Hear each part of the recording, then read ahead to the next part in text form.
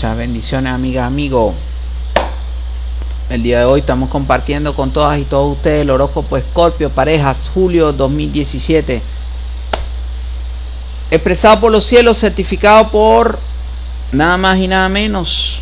Uy, esto es condescendencia, sabio y esto es nueve de copa. Serán los cielos los que se expresarán para usted y con respeto dichas tres cartas le certificarán la información. Pero antes, debo decirle que hay tres aspectos astrológicos brillando en los cielos, que son relevantes conocerlos por todos. Sol en casa 3, cuando los brazos se cruzan en medio de una flor blanca, las almas se elevan. Sol conjunción Marte, el poder del amor te salvará de la adversidad. Solo oposición Plutón. Es tiempo para cultivar la flor del amor. Para poder sentir su brillo. ¿Qué te parece? Qué bonito, ¿verdad? Es bello, es lindo, ¿verdad? Bueno, ahora vamos con lo mejor. Escorpio, parejas, julio 2017. Preparados para recibir dicho mensaje. Llegan, uy, llega mucho apoyo celestial a dar este, este horóscopo. Ok, excelente, buenísimo. Gracias por el apoyo celestial. Bueno, se habla de liberación de cadenas. Se habla de liberación de opresión. Se habla de que es tiempo, tiempo propicio para comenzar a dejar atrás los vicios.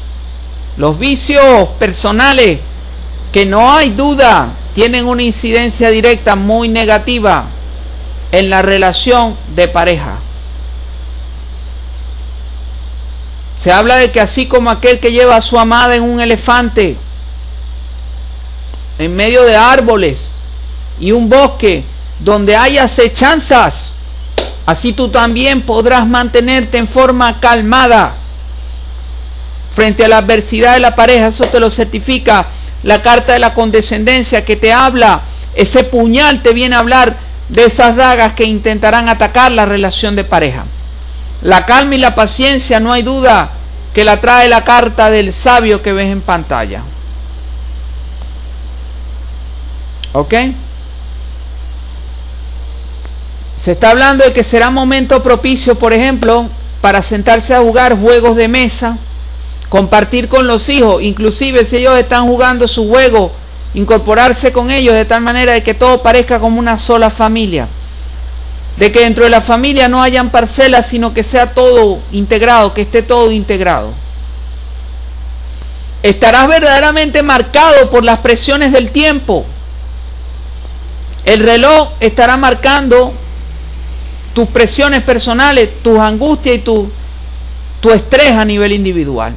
Podrás encontrar ciertos elementos naturistas como de repente, por ejemplo, un batido, una manzana, un postre que sea un encuentro para ti de relajación, un momento de relajación y encuentro personal para tu vida.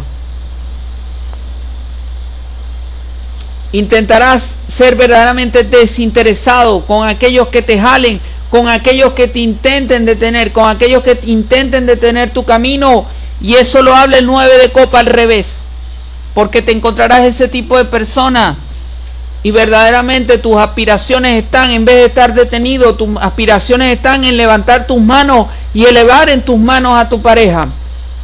Para que tu pareja se pueda sentir orgullosa de estar contigo y entender que los momentos pasados difíciles que han vivido, hay altas y bajas, pero que tú en las altas estás en la capacidad de dar lo mejor de ti hacia tu pareja.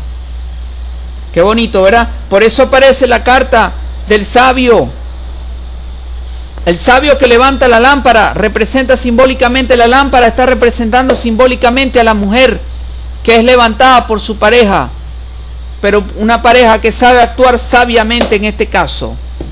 Recuerden, este fue el horóscopo de Enrique, estoy para apoyarlos desde www.welcomeme.blogspot.com. Muchas bendiciones a todos.